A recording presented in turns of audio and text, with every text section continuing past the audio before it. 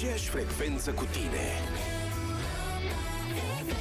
Am filmat, am pus pe Instagram, am cântat alături de Chris Ria, toate acestea pentru că a venit Cătălin cu telefonul pregătit și când vine Da, Cătălin da, cu da. telefonul pregătit, cam asta se întâmplă. Unde ai postat, Cătălina? Da, la mine pe Instagram, dar când o să ai timp, te-am tăguit și Am mai poți să tăguit? poți, uh, să poți uh, Ai pune scris și tu acolo, Insta Radu Constantinescu. Da, da, da, Incredibil. și mult de Hai, scris. mulțumesc mult. Dar După ce scrii prima dată, te pune acolo în vârful tăguirilor și te iau, trebuie să pui doar I și apari. Ține minte. Da, I și Da. apare Radu. Și apare Ah, Radu, interesant. dacă am făcut eu treaba asta. Da, pe nu Bun. apare Insta Radu Constantinescu. Dar eram curios așa cum faci tu Tainele când, când ai, Instagramului. da, când ai tu piesa asta la radio. Păi, uh, e o piesă care ar putea să fie, nu știu, un fel de imn.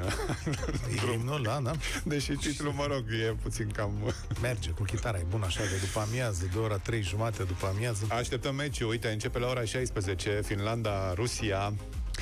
Știi, uh, mă gândeam, Ronaldo a luat de pe masă sticlele de cola, a venit Pogba și a dat la o parte sticla de bere. Oare rușii or, or face curățenie pe masă sau or veni cu o sticlă de... Astea două țări care fac vodcă de cea Așa mai că bună și Finlanda, calitate, exact. deci este o mega întâlnire din punctul ăsta de vedere. Deci o să Au vedem sticle cu vodcă. vodcă foarte bună și de-aia baie din aia finlandeză cu saună care te bate cu măturici, cu mesteacă, O să ne uităm multă cu, zăpadă. cu interes la conferința de presă de după meci. Da, da, da, da. Da? da Sau da, înainte, că nu știu exact când are loc.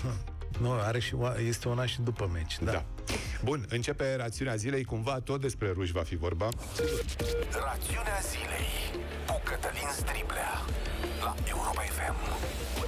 Chiar la ora la care vorbim, dar și la ora meciului, în Elveția are loc o întâlnire politică cea mai importantă a anului, dacă vreți, pentru că acolo se stabilesc uh, lucruri esențiale. Președintele Biden al Statelor Unite se întâlnește cu președintele Putin al Rusiei. Dai seama că la ora 4 lasă tot și cu ochii pe meci. Cât o fie de importantă întâlnirea asta. Știu, Eu cred că mai curând se oprește meciul și l-așteaptă pe Putin. Asta pare mai... Să sperăm că nu... Da, uh, cum ar fi? Deși orice e posibil în Rusia, dar... Uh, Stop, e domnul președinte ocupat. Da. Începem și noi mai târziu partida. Știi de ce zic? Deci întâlnirea a început cam acum un ceas, da? Și se estimează că durează cam 5 ore. Are, a- are, o dub, are două părți. Prima parte în care cei doi președinți se întâlnesc alături de ministrii de externe într-un grup mic, restrâns și care stabilesc niște lucruri și o a doua parte care e un fel de summit, îi zice în engleză, la noi tot întâlnire înseamnă, dar să-i zicem reuniune cu mai mulți oameni care uh, sunt implicați în povestea asta. Bun, acum uh, în ce condiții și ce s-ar putea stabili la această întâlnire? Condițiile sunt de neîncredere între cele două părți. Uh, domnul Putin s-a simțit foarte bine uneori alături de domnul, de domnul Trump. Ultima întâlnire din 2018 dintre cele două părți este considerată o victorie pentru Rusia. Domnul Trump a făcut atunci și o greșeală taxată de presa americană și de o parte din opinia publică atunci când a spus că are mai multă încredere în domnul Putin sau a dat de înțeles decât în domnul Putin decât în CIA. Da, și a spus domnul Putin nu are nicio implicare în uh, atacurile cibernetice asupra alegerilor americane, pentru că mi-a spus el că așa e.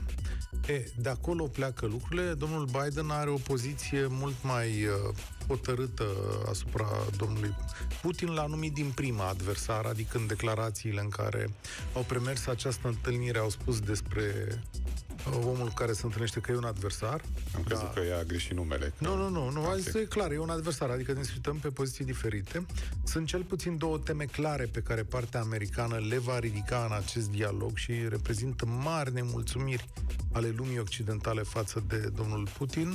Este vorba de atacurile cibernetice din ce în ce mai dese, mai dure și mai grele ale unor hackeri sponsorizați de Rusia ca să atace ori instituții democratice, ori uh, zone economice americane. De altfel să știe, de exemplu, că Statele Unite luna trecută a trecut printr-o criză a benzinei în anumite părți ale sale, pentru că a fost atacat operatorul care transmitea prin țevi benzina respectivă, deci operatorul uh, economic care făcea treaba asta.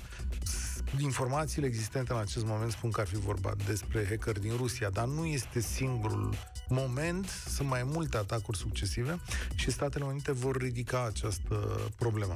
A doua chestiune este evident cea legată de drepturile omului și respectiv cazul Navalnei. De-al minter știi că, că atunci când începe întâlnirea, ei își dau mâna, pozează cu ziariștii, fac o chestiune uh-huh. de genul ăsta în care nu se stabilește mare lucru, dar s-au așezat pe fotolii și unul dintre ziariștii americani a și întrebat și totuși, de ce vă este teamă de domnul Navalny? L-a întrebat pe președintele Putin, asta nu s-a soldat cu un răspuns, dar întrebarea a existat.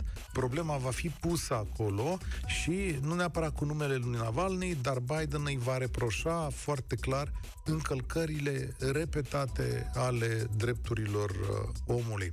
Astea sunt uh, temele, să zicem, uh, principale în momentul ăsta sau despre care știm foarte multe. Și uh, sigur că va mai fi problema chinezească pe masă. Nu uitați că spre deosebire de acum 40 de ani sau poate chiar acum 20 de ani, oamenii ăștia nu mai sunt singuri pe pământ, există o putere comparabilă cu a lor, China care și... se apropie din ce în ce mai mult de Rusia. Nu... În mod evident, fiind într-un război economic cu Statele Unite, își va căuta aliați în zona Rusiei. Dar ce va face domnul Putin? Și oare ce va cere domnului Biden într-un sprijin, să zicem, într-un eventual război și aici nu război din ăla cu arme, ci uh-huh. războiul economic obișnuit sau de altă natură cu China.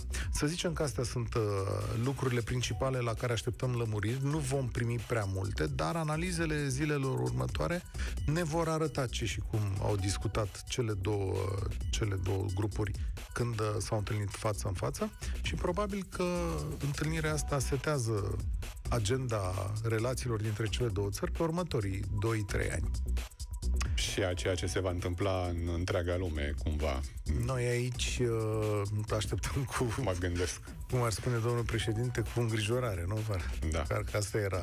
Între timp, să știți că NATO uh, a trimis o cerere uh, sau mă rog, o, e o luare de poziție așa cum că Rusia ar trebui să-și retragă armatele din zone precum Transnistria, ceea ce sigur că nu e o coincidență în aceste zile, dar sigur că nu are oarecare valoare Cătălin în fața Stribea. Rusiei. Mulțumim foarte mult pentru comentarii, te așteptăm și mâine alături uh, de noi și uh, la România în direct de la 13 și un sfert.